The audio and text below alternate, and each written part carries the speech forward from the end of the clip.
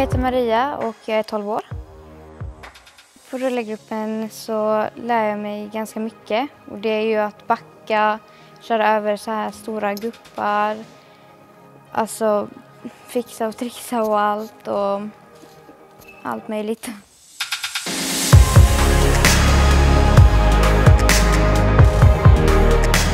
Jag brukar, jag brukar få mycket kommentarer varför jag sitter på rullstol och typ, jag orkade inte med det riktigt så jag mådde ganska dåligt så. Men nu känner jag att jag är liksom, att jag finns och att det liksom, det är bra för mig så. Det roligaste i rullegruppen är ju att köra handboll och eh, innebandy för då rör man sig mycket.